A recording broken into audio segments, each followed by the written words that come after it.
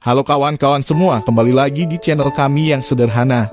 Semoga yang like and subscribe rezekinya lancar.